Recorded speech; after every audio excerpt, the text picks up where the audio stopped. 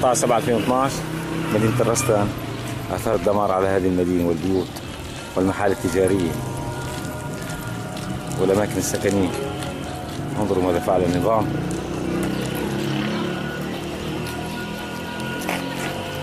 وحرق المحلات وتدمير المدارس. تدمير مدارس 14 7 2012 هذه روضة طلعت 8 آذار. تم تدميرها. الله أكبر خلينا ننظر. ماذا فعل هذا النظام؟ هذه الروضة. الله أكبر. الله هي أفضل روضة بسوريا. هي هي هي ألعابنا هي هي أقلامنا هي الله أكبر. نعم. هاي روضتك درست فيها هنا؟ نعم. شو شايف المقاعد؟ 14 7 2012 شو صار؟ كثر القصف والضرب خربت المقاعد.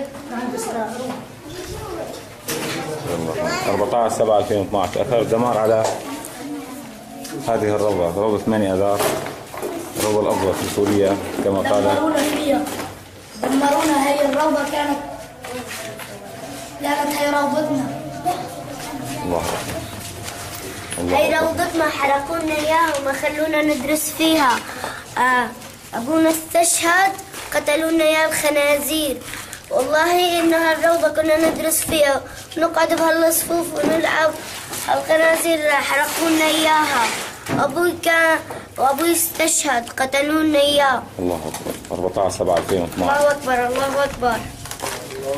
هذا المسرح مسرح الأطفال.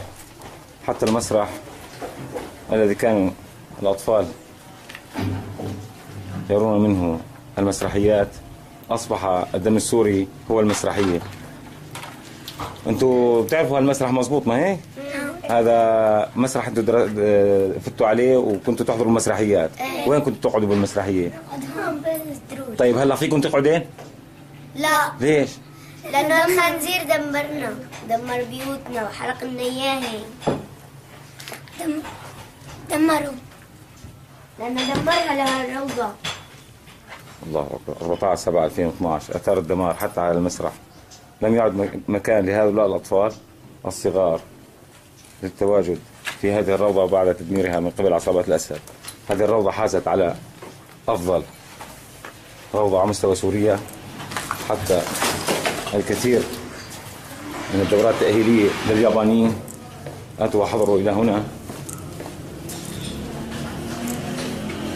وهذه وثيقة اتباع دورة تأهيل تربوي